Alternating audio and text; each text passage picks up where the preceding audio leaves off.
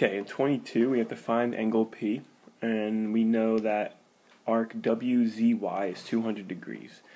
Now in the picture, we also know that arc WX, call that x degrees, and arc ZY, call that x degrees, um, they're equal to each other because these chords are congruent, chords WX and ZY.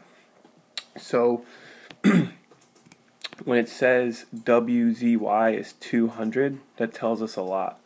Um, it tells us, for one, that uh, we could express just WZ as 200 minus x. So if we take 200 degrees and subtract x, we can express that. And it also tells us that the remaining part of the arc is 160 degrees.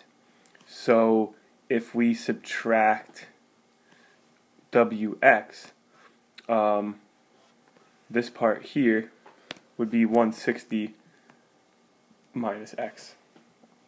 So now um, we could take angle P and we can express it as 200 minus X minus 160 minus x divided by 2. Because when you have two secants intersecting outside the circle, it's going to equal half the difference of the two arcs that are you know intersected by those secants. So now we got angle P is going to simplify to just 40 over 2 because 200 minus 160 is 40 and then negative x minus negative x is like a plus x so we get 20 degrees um, for angle P. And that's it.